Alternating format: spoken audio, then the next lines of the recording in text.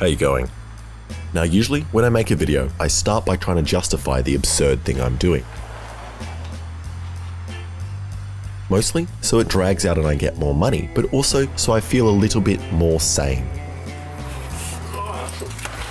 But with this video, I really don't have a reason, besides that you all kind of bullied me into making it. And you know, if you've also got an idea that will hurt me, join my Discord or Twitter and let me know. Like Barack Obama, who wants me to go skydiving after pepper spraying the instructor. Alright, flamethrower. And I think I've got the perfect thing. This broken outdoor heating lamp we've never used, which should have all the necessary components I need to make a good flamethrower, like this switch, this grill thing here, this igniter, a gas hose, and this American soldier who loves burning Vietnamese children. Hello. Uh, I'm gonna move this lamp, so it might get cold, but uh, you can come with me if you want. Yeah, I'll just grab the chair. So today, I'm going to bung together a flamethrower that will hopefully warm the hearts of even my most American viewers.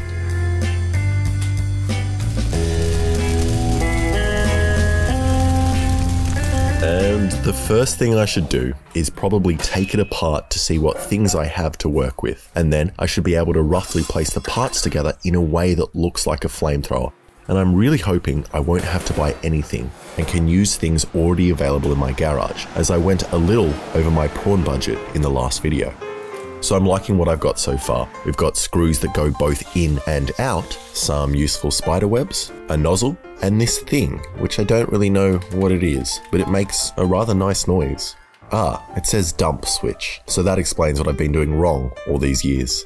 And I don't know why, but sometimes I get really impatient while taking things apart. Like, instead of just undoing this screw, I decided to ignore it and just bend the metal to get the temperature probe out. And I kind of open my mail in a similar way. I think I might actually just be part rat. And speaking of animals, while taking the main body apart to get to these poles, something softly touched my hand. So I tried to find it in order to reciprocate the touching, and did not expect to find this big boy. And usually I attempt to catch them and release them outside, but this guy was probably the biggest huntsman I've ever seen, and instead decided to let him permanently live in my garage. So this is it all taken apart, and I think I've got a rough idea of what I want to do. So I'll have the gas bottle mounted on the top with the hose running inside the metal frame of the lamp. Then I'll add this accumulation tank which will also double as a handle. Then I've got the valvey switch thing at the front which will let the gas out through the nozzle. Now the smart ones amongst you will have noticed that I'm planning to use this little propane bottle instead of the big fella that came with the heat lamp. And that's because firstly, it's big, so I would need a strap to my back, and then if anything goes wrong and it blows up, I would probably be more dead than if I was using the little one. And also, if I use this little gas canister, it kind of looks like Elon Musk's flamethrower, but hopefully not quite as boring. So in order to use a small canister, I need to modify this hose to accept it. And luckily, I have this yogurt container filled with old gas fittings that I've collected over the years. What? What? No. No. No. No. No. Wait, wait, wait, wait, wait, wait, wait, wait, wait, wait, wait. That's not, that's not. Oh, come on, please. Just look at what it is before you eat it. Okay, so I think I can just cut off this old nozzle and tap a thread in and then put this hose on which fits into the new gas nozzle.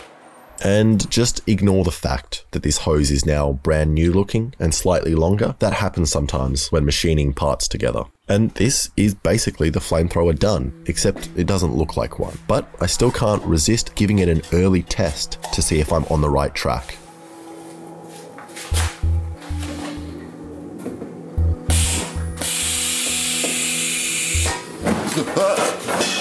Should not be on. Ah! and leaks everywhere. Absolutely everywhere. I don't think there was a single connection point that didn't catch on fire, which is pretty bad, but also kind of impressive. Also, the flame was pathetically small, and that might be the fault of the nozzle here, but I'm hoping that because a team of scientists designed this heat lamp, that hopefully they created a nozzle that works, and it's just the lack of gas flow that's creating a small flame. And using this pile of gas detecting powder I've collected over the years, we can see that there is heaps of gas escaping out of other places where it's not meant to be coming from. So I think I've got no choice but to use some Teflon tape.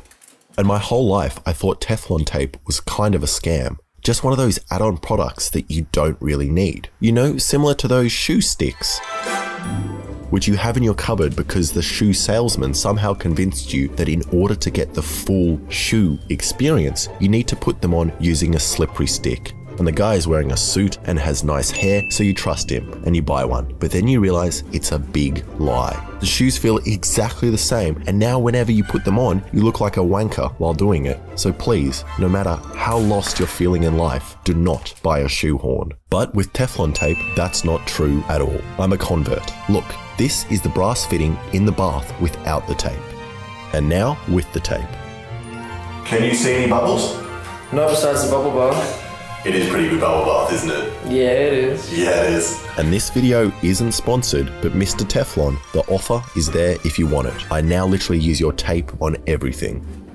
Alright, let's move on to building the body. So I have these two poles, and I'm imagining that I can join them together and then also get this plate thing on the end, which kind of looks like the butt of a gun to rest against my shoulder.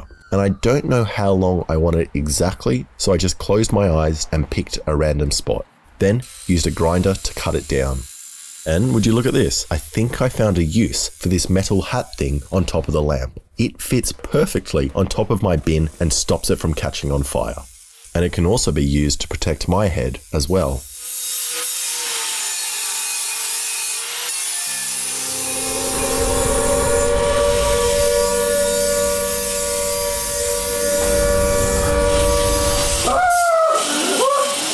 Are you alright? No, no, no, no. Are you alright? No, no. Wait, what is it now? No, no. Wait, what is it now? Please. Wait, what is it now? Please. What is it now? Please. What is it now?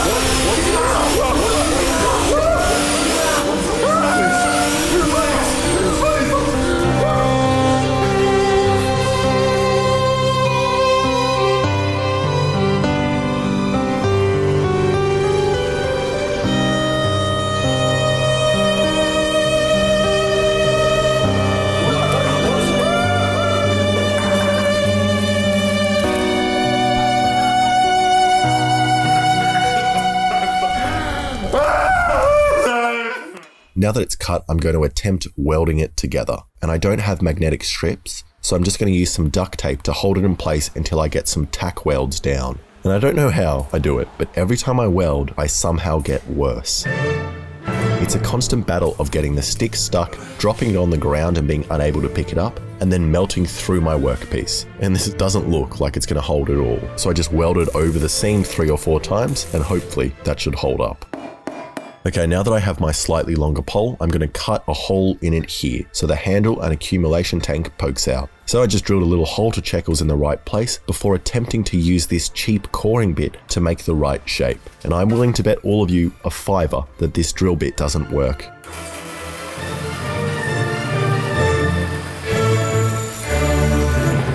See, I told you. Now, each of you owe me $5 plus the dollar I gave you for the bus. So I expect uh, uh, $6.96 million in my bank account by next Thursday.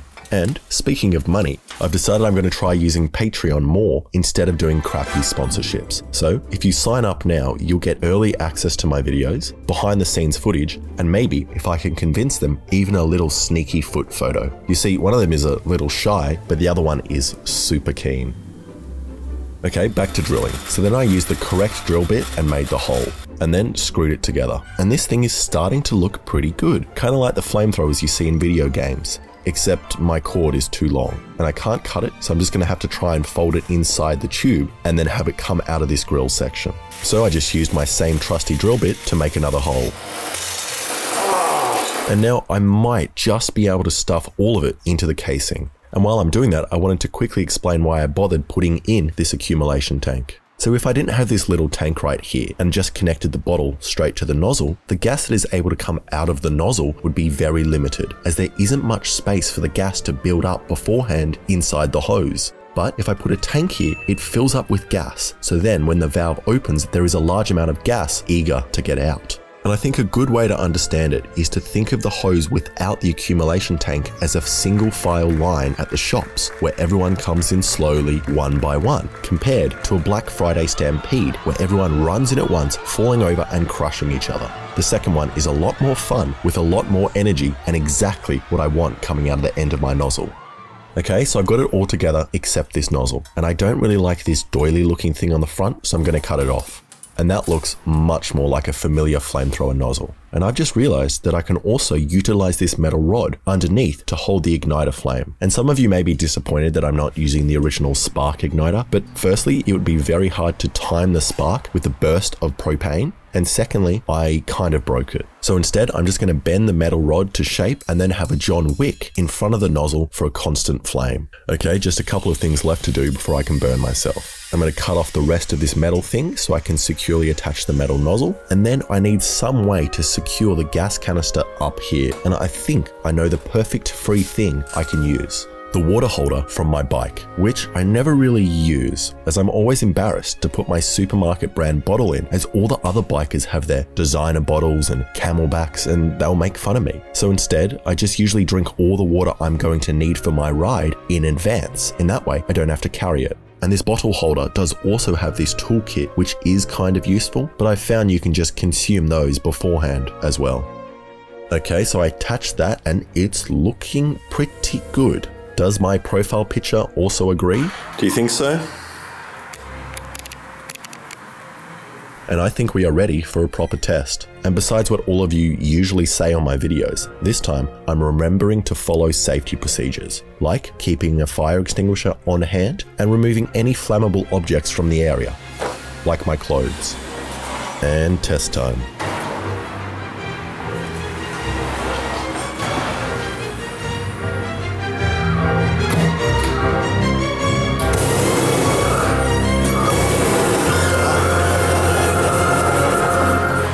That is not where fire is meant to be coming from. So I think I've got a couple of leaks, or it could be an inbuilt safety restrictor in the valve. So I'm going to try open it up and take it out.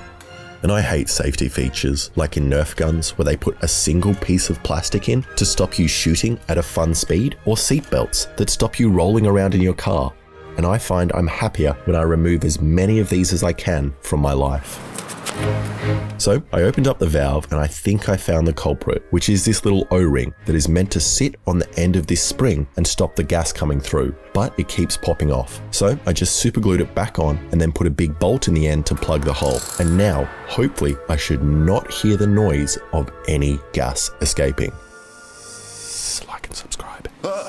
And I was thinking of giving the flamethrower a paint job, but after trying out what the colors look like on my computer, I don't think I like the painted look very much. Okay, flame test round two.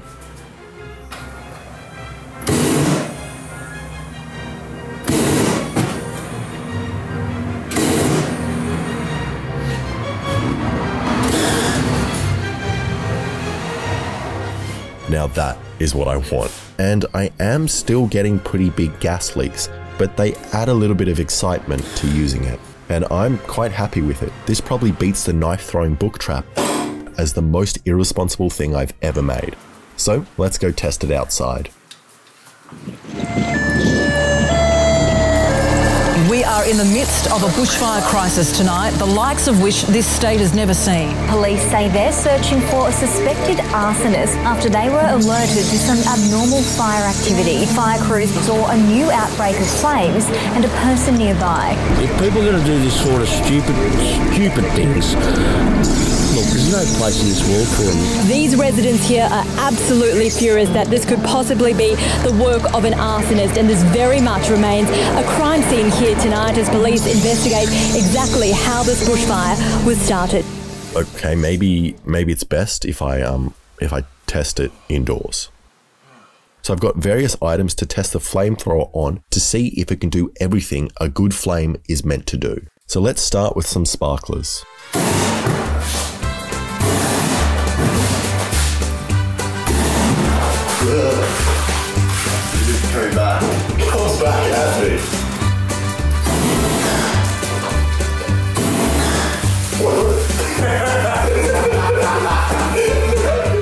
Okay, now let's test something a little more Australian.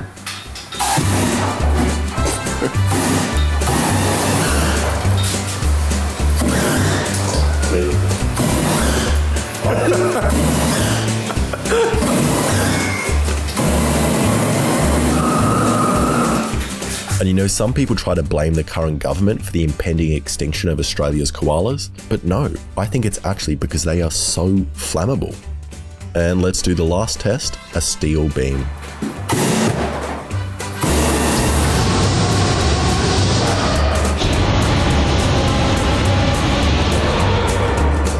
And I don't think the flame is hot enough. And after all these tests, I realized I've made this thing horribly. I kind of wanted to make it easy for myself by not having to change the actual lamp much, so I left the trigger on the side here, but it's really uncomfortable to hold, and also I get burnt when the gas escapes. Also, the handle accumulation tank plan is horrible as it fills up with liquid propane and freezes, making it impossible to hold. The whole thing is also way too long, and I don't know how I thought I was actually going to use it in this position. And just to be safe, I think I need to make this clear. Even though I've called this a flamethrower in the title, it's not actually. The definition of a flamethrower is a device that shoots a stream of flammable liquid. Mine does not do this at all. Think of mine as just kind of a slightly larger cigarette lighter. And even though it looks cool and is hundreds of times bigger than the flame that originally came out of this canister, and better than Elon Musk's, if you compare it to any other flamethrower on YouTube, it's pretty pathetic. And it would actually be more effective to just get a water pistol, put petrol in it, and then put a candle on the front. But I'm not allowed to do that as it's illegal. And actually, I'm not sure if what I'm doing right now is illegal either. So if I don't upload for a long time, it's not because my upload schedule is crap and I'm procrastinating, it's because I've been tagged by the police. Or, you know what? If there are some cops watching right now, could you at least like this video and subscribe before coming to arrest me? Thank you so much for watching. If you like this video, please subscribe and check out some of the other dumb things I've made.